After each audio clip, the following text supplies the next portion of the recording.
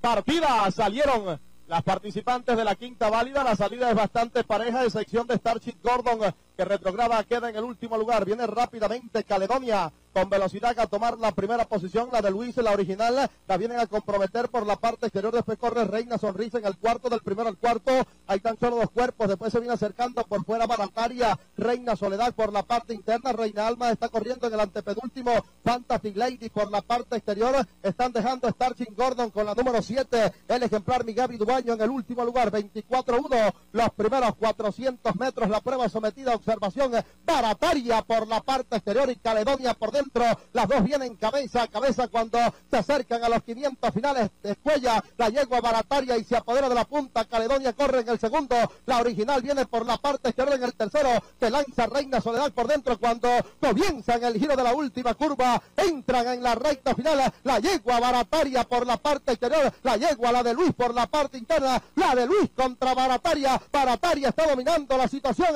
La de Luis a la carga por la parte interna, pero está dominando por la parte central ahora Caledonia, la número uno, la yegua Caledonia, viene a sorprender, la quinta válida se las ganó el uno, la yegua Caledonia número uno. En el segundo la de Luis, el tercer lugar para la número dos, Reina Alma. En el cuarto lugar está llegando la yegua Migabi Dubaño, después está llegando la yegua Barataria por la parte exterior.